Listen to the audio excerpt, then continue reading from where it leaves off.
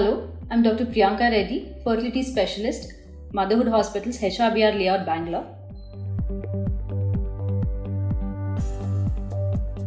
What is hysterosalpingogram or HSG? In a hysterosalpingogram, we use an X-ray to help us visualize the fallopian tubes. But as the fallopian tubes cannot be visualized through a transvaginal ultrasound, we need to use a contrast dye which can be passed through the uterus into the fallopian tubes and at that point they will be taking an X-ray. How do you prepare for a HSG? HSG is basically performed between day 5 and day 10 of your cycle. During this time, you will be asked to come into the hospital. An injection will be given, could be a painkiller. After half an hour, the patient is asked to lie down on a cot with an empty bladder.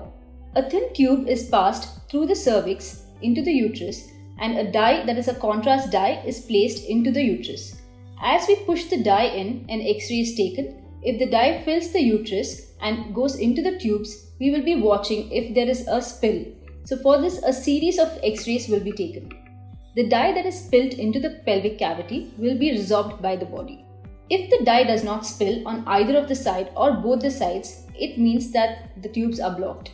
If there is a tubal block, could be unilateral or bilateral, what next?